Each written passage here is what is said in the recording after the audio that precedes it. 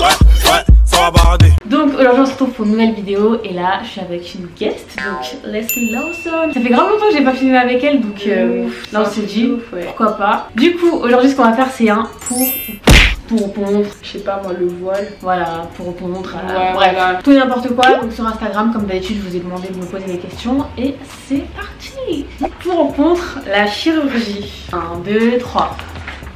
Bon, du coup, on est pour, mais je trouve qu'en ce moment, il y a un peu une dérive sur la chirurgie et tout. Mm. Donc en soi, tu vois, genre, euh, ça peut être bien pour des personnes qui ont vraiment un complexe, etc. Je sais pas, t'as un nez euh, vraiment qui te dérange, etc.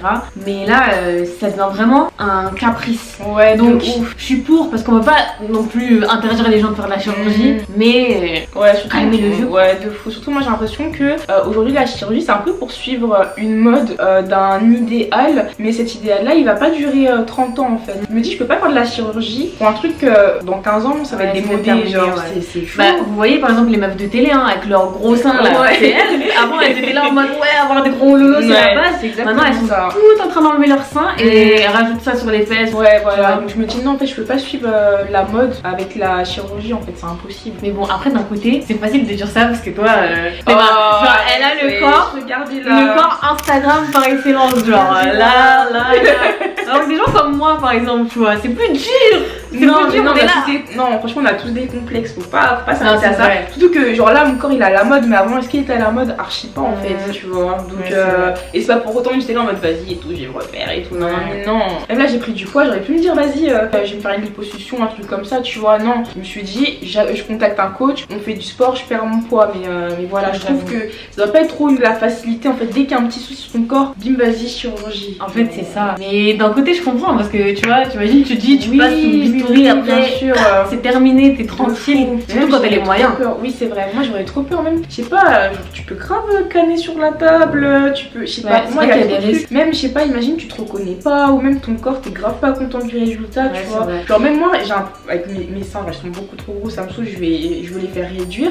Mais c'est un truc, genre, c'est un truc qui me gêne vraiment au quotidien, ça me fait mal au dos et tout. Mais j'ai tellement peur. ouais. Et encore, toi, c'est chirurgie réparatrice. Genre, Ouais, truc, euh, voilà. Oui, donc C'est pas un truc de ouf Donc déjà. déjà. pour un truc euh, qui pour moi en tout cas euh, devient nécessaire, genre je me dis euh, j'ai trop peur, alors vraiment juste par caprice, je pense, Ouais. je- en tout cas moi je pourrais pas passer le cap, tu vois.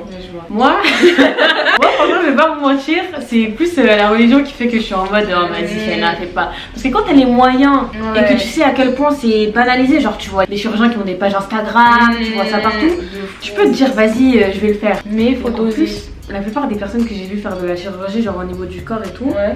genre quand tu les vois en vrai, je te jure que c'est bizarre, genre. Enfin, Ah genre, ouais, il y a un ouais. truc qui cloche. C'est vrai que je me dis d'un côté flemme, genre. Mm. Il y a beaucoup de, de chirurgie aussi quand tu les vois sur les réseaux, t'as l'impression que c'est archi bien fait et tout. Ouais. Alors que quand tu vois la personne dans la réalité, tu te dis mais en fait euh, ça se voit tellement que c'est pas naturel que. Bah, c'est un peu comme les lèvres par exemple. Ah Bon, c'est ouais, pas de la ouais. chirurgie, mais genre euh, sur les réseaux, tu vois, tu vois ça en mode euh, ah c'est mignon les lèvres. Mais quand la personne tu la vois en vrai ou qu'elle est en train de parler, ça se voit c'est. Ouais. Tu vois, genre c'est pas naturel en Ouais. fait. et Mm. C'est relou, c'est relou. Pour ou contre ne pas faire de longues études? Ah ouais. Moi, je suis ni pour ni contre, mais en gros, euh, ne pas faire de longues études, ça veut pas dire que genre Oui, c'est chaud, vrai, tu vois. vrai. Genre, il y en a justement qui savent ce qu'ils veulent faire, genre par exemple faire un BTS et voilà. Mm. Et ils sont déjà dans leur délire quoi. Alors qu'il y en a qui vont faire de longues études pour se dire ah il faut faire des longues études et au final c'est gâté, genre t'arrives pas C'est vrai, c'est vrai. Moi, je je dis quand même un peu compte parce que, enfin, c'est toujours mitigé, mais euh, je me dis, si t'as vraiment un vrai projet, surtout entrepreneurial, vas-y, dans ce cas-là, euh, enfin, les études, j'ai presque envie de dire, ça te sert à rien, tu vois. Mais à côté de ça, genre, euh, moi qui, là, je suis en cinquième année, je me dis, en vrai, les études, ça t'apprendra toujours quelque chose, ça t'apportera toujours quelque chose. Malheureusement, en France, c'est vraiment un pays où c'est les études ou rien, tu vois. Et en fait, euh, des fois, pour un poste égal, tu vas gagner moins que la personne juste parce que la personne a fait plus d'études que toi. Et je me dis, c'est quoi C'est 3 ans, 4 ans, 5 ans dans une vie. Et après, genre, t'es débarrassé pour euh, tout le reste de ta vie. Genre. Donc, à moins que t'aies une vraie sécurité, un vrai truc ou même un projet, tu te dis, eh, vas-y, ça, ça va marcher et tout. Ok. Mais je trouve que là, dans le pays où on est, c'est mieux franchement d'aller au bout, Ouais. et après, euh, vas-y, tu vis ta vie. Après, je dis ça, mais bon, quand tu sais pas ce que tu veux faire, tu sais pas où tu veux aller, etc. Ouais, c'est etc. ça. C'est rien de faire des études dans le vent non plus. Donc, Ouais, euh, faire pour faire, genre, euh, dans tous les cas, ça va être gâté parce que même quand vous allez taffer, vous allez Ouais, ça ça va vous aimer ce que vous faites. Donc, pour ou contre le mariage mixte? Quand même. Ouais. et, moi je précise euh, mariage mixte euh, au niveau des, des origines genre. Mais pour la religion, Ah, vous connaissez oui. mon avis. Hmm. Mais toi je sais que pour la religion, t'as. Ouais, pour- bah, pour les deux genre. Ouais, après, bah, la religion, si ça se passe bien, euh, tant mieux, tu vois. Mais euh, c'est vrai que moi, les, les, fois où j'ai tenté des relations avec euh, des, des personnes qui n'étaient pas de la même religion que moi, euh, franchement, à chaque fois, c'était grave voué à l'échec, tu vois. Tu Donc, j'avoue que euh, au niveau de la religion, ça peut être compliqué. Après, ça dépend de beaucoup de choses, hein, de la famille, de leur ouverture d'esprit, etc., etc. De si Ou même de la religion, personne, comment oui, elle pratique. oui, c'est vrai. Ou de ta religion, si c'est genre accordé ou pas Mm. si vous êtes d'accord pour les enfants, enfin bref, tu vois, il y a plein de questions qui se posent. Mais en tout cas, au niveau des origines, Ouais, à fond, ouais, ouais, je t'imagine, c'est quoi ça? Pour ou contre l'avortement pour, pour, pour. Donc euh, oui, certes, c'est un acte euh, qui est, enfin, qui est pas anodin, c'est quelque chose de dangereux, de voilà. Mais euh, le fait de, d'interdire ça, ça va jamais euh, empêcher l'avortement en fait. Il y en a qui vont justement avorter, mais de manière encore plus dangereuse. Mm. Genre il y en a qui vont se faire ouvrir le ventre ou j'en sais rien. Mais je trouve ça trop dangereux d'être contre l'avortement parce que du coup, bah, les personnes qui, qui ne peuvent pas garder l'enfant pour X ou X raison, bah, elles vont, elles vont des trucs de ouf, tu vois. Donc, autant que ce soit Non, moi aussi, Ça, hein, ok. pour, euh, franchement, pour à 200%. Une femme, ça devrait être à elle de décider si oui ou non demain elle donne la vie. Je me dis même, il y a tellement, encore une fois, d'histoires euh, salaces qui se passent, Oui. etc. Tu vois, genre. Imagine t'as un euh, enfant parce que je t'ai fait violer. T'as un enfant alors que euh, ton gars il t'a laissé euh, comme ça toute seule, t'as personne. Même il te frappe ou des trucs comme Tu vois, ça. il y a plein de trucs. ouais, ouais, c'est non, non, non. tu vois. tellement de Et même si euh, moi je sais qu'au niveau de la religion, genre c'est pas forcément euh, conseillé Ouais. et que c'est c'est pas bon, mais Ouais. je peux pas dire euh, non, euh, il faut interdire l'avortement parce que ça Ouais. c'est c'est la pire des choses à faire genre. Mais après, faut pas, faut pas en abuser non plus. C'est ça, C'est pas une contraception, euh, l'avortement. Mm. euh, Et là, il y a plein de petites filles genre qui avortent 3, 4, 5 fois parce que justement elles sont. Après, d'un côté, il y en a qui ont pas de chance, hein. genre même avec euh, ouais, une les bonne protections contraception et tout, ouais. elles arrivent à tomber enceinte donc. euh, Mm. D'un côté, tu sais pas. Alors, pour ou contre la légalisation du cannabis? 1, 2, 3.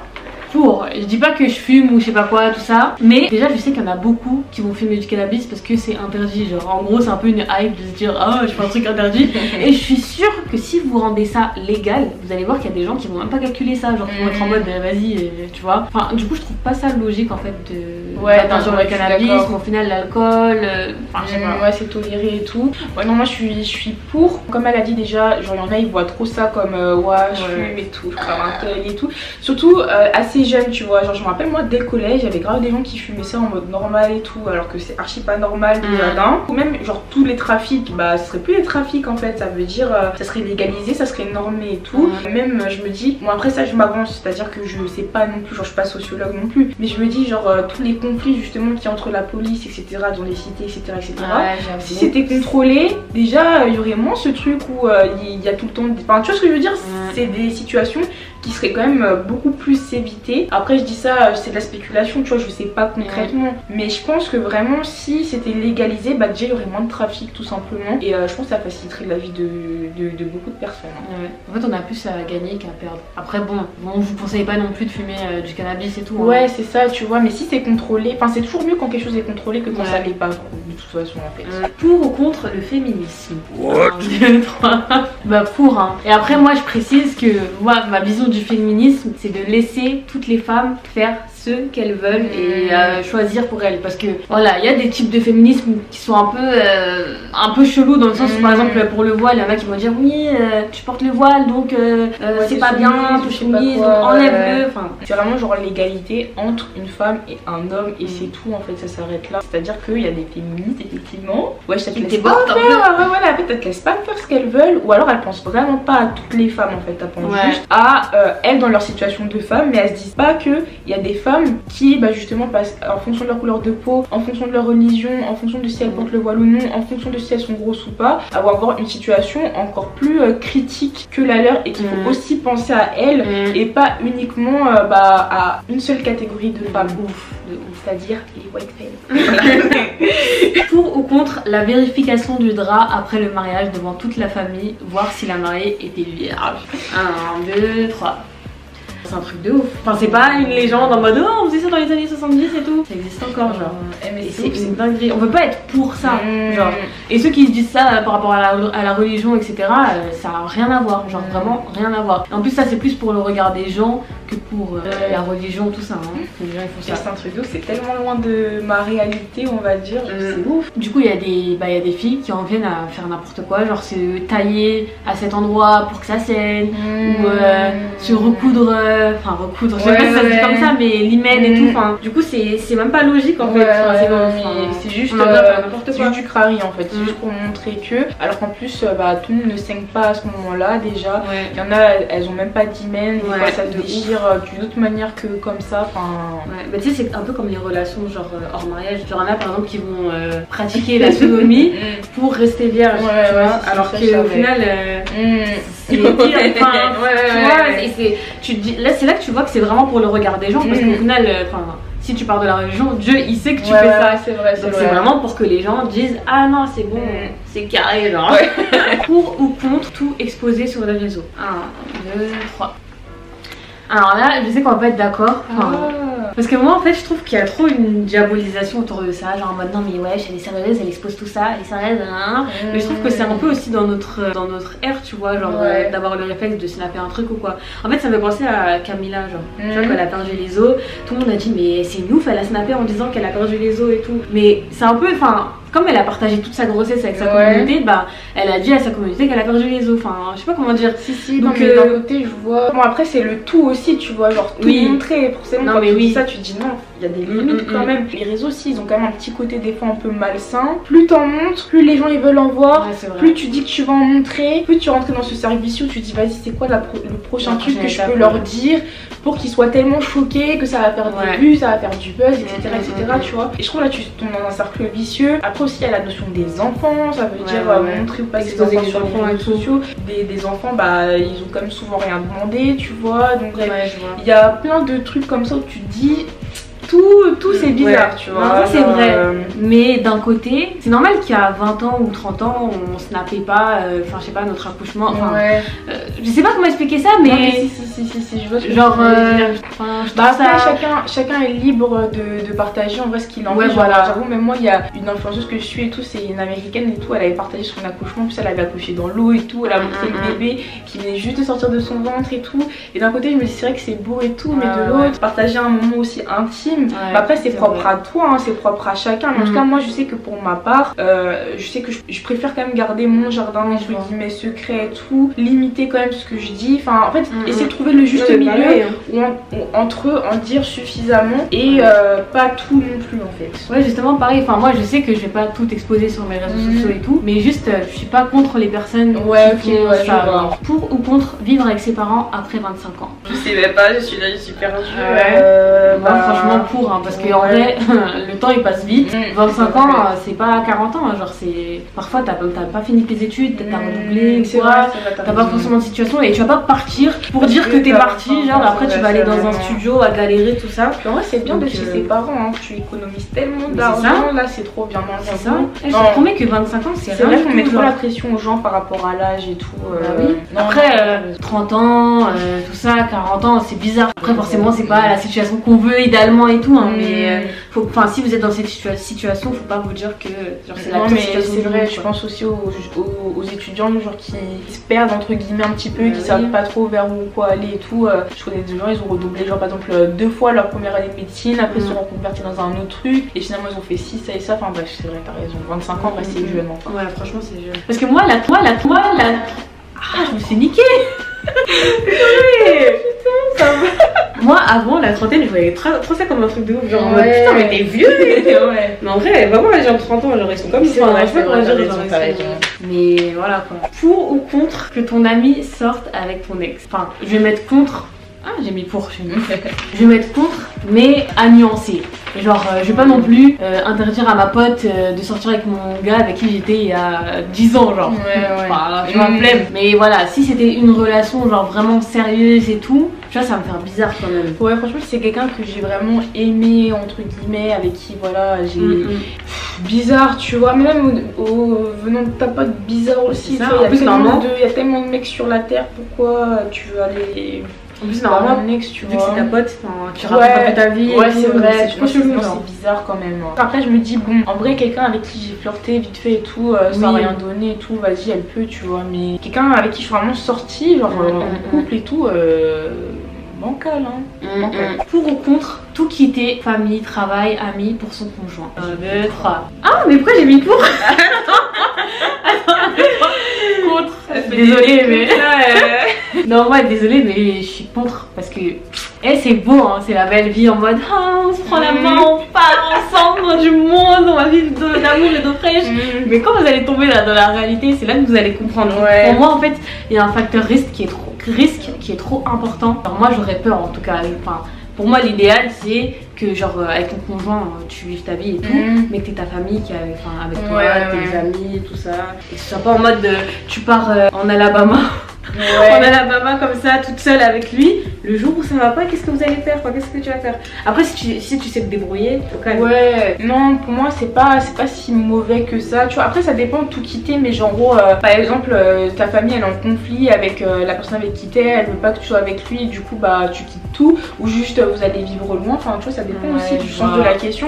Mais enfin, moi personnellement, ma soeur, bon après c'était pas forcément pour quelqu'un, mais en tout cas je sais qu'elle était partie en Australie comme ça toute seule, voilà. Mais c'est grave plus là-bas, elle est restée archi longtemps là-bas. Puis maintenant elle est à Ibiza avec son gars, mais mais je sais pas en fait, en vrai ils sont loin de tout et ça les dérange pas. Enfin, ils vont se marier et tout, genre ils vivent leur Ouais, meilleure mais- vie en fait. Donc euh, Après, la question c'est tout quitter pour son mari. Est-ce que, enfin, si ça se trouve, c'était aussi nos oui, c'est ouais, c'est vrai, c'est vrai. Bah Genre là c'est en mode, enfin par exemple Ruben il dit bon Leslie, moi euh, j'en ai marre d'ici, je veux partir et euh, tant pis pour ta famille, tes amis, tout ça, mais il faut qu'on parte là, là, je sais pas, genre loin.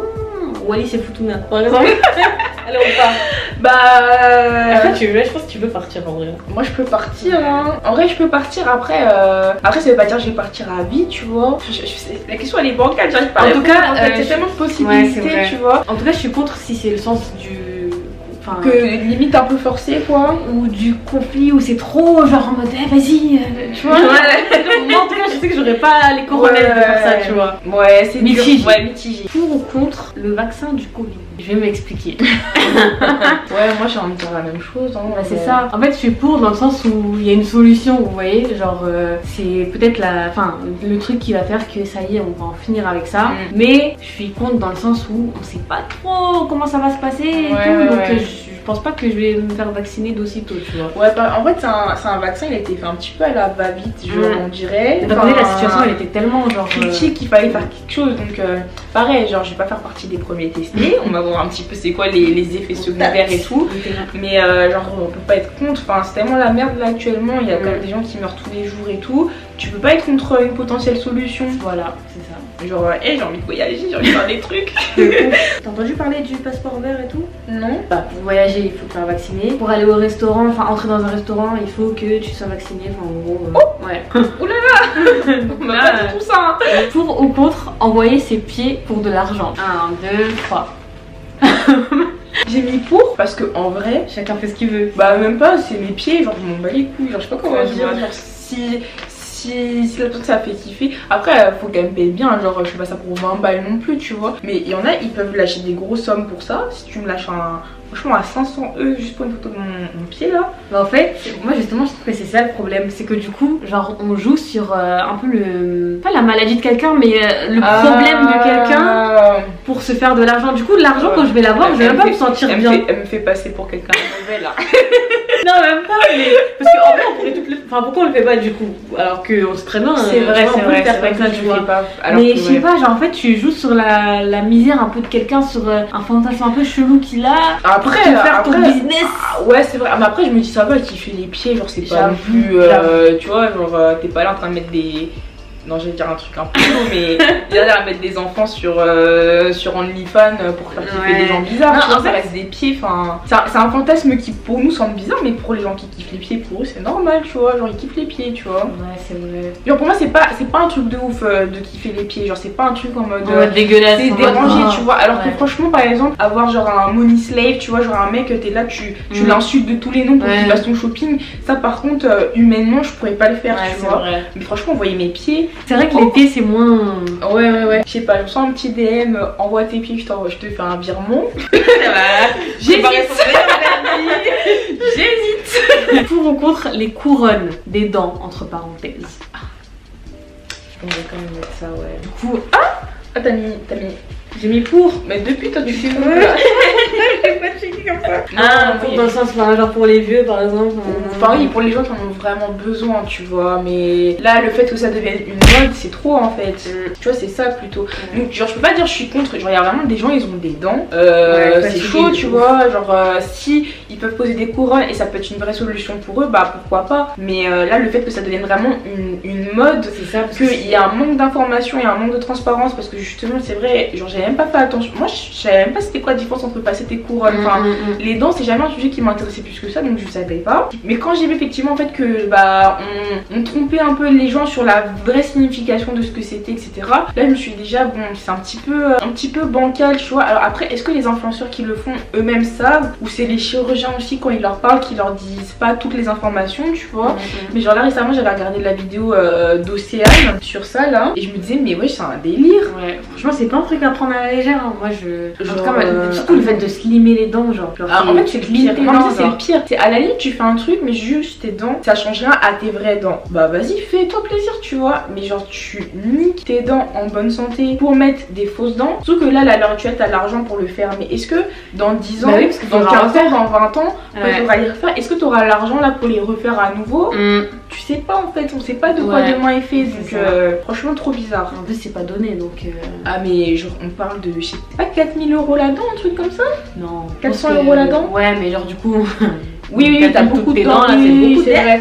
Non, je sais plus c'est combien là-dedans, mais c'est un truc de ouf en fait. Ouais. En fait, si les mecs t'as des dents en mauvaise santé, genre moi j'ai une pote, sinon on lui a arraché toutes ses dents. Genre à un moment donné, euh, le dentiste il s'est trompé de dents à arracher. Au final, elle avait un kyste à tel endroit qui a fait qu'il y en a deux qui se sont infectés, enfin des trucs comme ça. Ouais, si elle veut se faire les dents, euh, franchement, qu'elle y aille, tu Non, vois. mais oui. Mais euh, sinon, là, le fait que ça devienne une trend et tout, euh, ah non, c'est chaud. Hein. C'est encore pire que, que juste faire de la liposuction. Oui, pour moi, c'est pire que la chirurgie. hein. C'est pour ça que j'avais mis contre, parce que je me suis trompée. Mais Ouais, c'est pire, genre, tu limes tes dents. De toute façon, ouais. c'est- c'est haram de limer ses dents, donc euh, faites pas ça, les frères. Pour ou contre normaliser la nudité de la femme C'est trop dur de répondre à ça. hein. Ah ouais. Vas-y, on peut mettre X. Ouais, on met, ouais, on, on met euh, mitigé, voilà. Ouais, la mitigée parce que euh, d'un côté, c'est vrai que c'est tellement normalisé que je me dis que maintenant, il y a tellement de filles assez jeunes qui vont se dire bah, que maintenant c'est normal, qu'elles peuvent faire ça sans problème, etc. Même je sais pas, tu on entend tellement maintenant de, de filles qui font de la prostitution, genre euh, alors qu'elles ont même pas une vie de merde, hein, mais genre juste pour pouvoir faire la en Ouais. fait, juste pour avoir de l'argent et juste parce que je me dis peut-être que les réseaux sociaux aussi ça banalise énormément ça. Mais après, de l'autre côté, je me dis incriminer telle ou telle influenceuse euh, parce qu'elle le fait. Enfin, bien rien que moi, il y a des gens qui disent que je me dénude, tu vois, alors que souvent ça reste quand même des photos en maillot de bain et tout. Pour l'instant, j'ai jamais fait de truc de lingerie. Mhm. Enfin, ou une fois j'ai fait une campagne, mais j'étais quand même très couverte et tout. Mhm. Le truc, c'est que, genre, je dirais pas que je suis forcément contre, mais par contre, je pense que du côté des plateformes, genre Instagram, YouTube, etc., faut vraiment qu'il y ait plus de réglementation à ce Ouais. niveau-là, en fait, pour que ce contenu-là, il soit le moins accessible possible aux, Aux jeunes, aux ouais. personnes jeunes, en fait. Ça serait C'est plus ça. ça, tu vois, la solution, entre guillemets. euh, Mais après, interdire les gens euh, Ouais, de le faire, final, tu les vois. gens, entre Parce qu'en plus, guillemets, c'est toujours de la ça. femme, tu vois, c'est toujours de la femme. Et la ça. nudité de l'homme, alors. Tu mets pas que la femme, en fait, tu vois. Ouais, Genre, la vois. nudité de la femme, c'est. Rien que la phrase, elle est dérangeante, en fait. parce qu'en soi, on sait que ça a toujours été un, un problème. Genre, en gros, on s'est un peu battu pour euh, être libre, voilà, etc. Alors ça. que l'homme, il a pas eu ce cheminement. C'est pour ça que Mm. c'est plus axé sur la femme parce qu'on sait que l'homme, tout le monde. Oui, oui, non, mais bien sûr. Oui, oui mais. C'est ça le problème. ouais, c'est ça le problème, Mm. tu vois. C'est quand même dangereux. Genre, même tu m'as Oui. raconté un truc, euh, une fille là. Oui, je me rappelle à l'ancienne, genre dans mon collège et tout, il y avait une fille, donc elle devait avoir peut-être euh, 13 ans, tu vois. Et la meuf, elle avait fait des photos en maillot, de- euh, en, en lingerie sur Facebook, parce qu'à l'ancienne c'était Facebook. Et vraiment, bah, il y avait grave des gens qui l'avaient insulté et tout machin, donc c'est vrai que c'est pas une solution. Mais je me dis rien qu'à cet âge-là, c'est quelque chose qu'elle a pu faire, tu vois, en disant, bah vas-y, c'est mon corps, je fais ce que je veux et tout. Je me dis là maintenant, avec euh, toutes les photos en lingerie de toutes euh, les influenceuses, même des fois quand même assez jeunes qui le font, Mais je me dis maintenant les jeunes ils vont se dire mais c'est grave normal de et le faire. justement, en plus, quand tu le fais, t'as encore plus de likes, de followers, tout Oui, ça. aussi. T'attises encore plus euh, la curiosité des gens. Et les gens, ils vont se dire quoi? Ah, mais vas-y, j'ai envie d'être comme elle, j'ai envie Ouais. d'avoir autant de fame Mm. qu'elle, donc je vais faire ça. Après, j'ai l'impression ça marche un peu moins. Enfin, maintenant c'est tellement devenu banal que euh, maintenant euh, les gens. Ouais, mais justement parce qu'il faut en faire encore plus, tu vois. Pour ou contre le concours Miss France, est-ce que ça représente? 1, 2, 3. Pour. Ouais. C'est un peu de l'abus, tu vois. Les avis autour de Miss France en mode ouais, faudrait interdire ce concours, etc. Mm.